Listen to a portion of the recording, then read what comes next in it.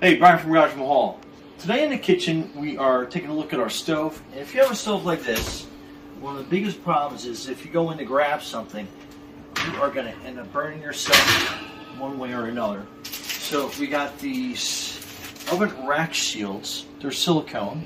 And how they go on, you pull your rack out, and you want to aim it probably about the middle because that's usually where you're going to be doing most of your cooking and pulling stuff in and out. And you basically just kind of un stretch it apart and it goes on nice and easy.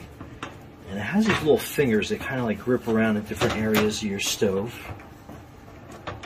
And you can keep these in all the time and then see how it just kind of like grips around each each little area. So just twist it into place and then you're good to go.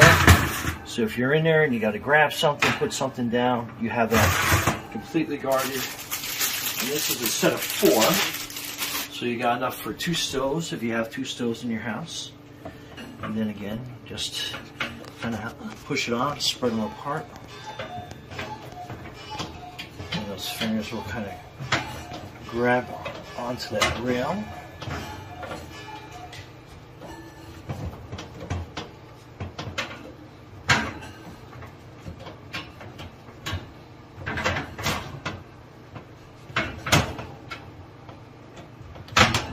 Just twist it around.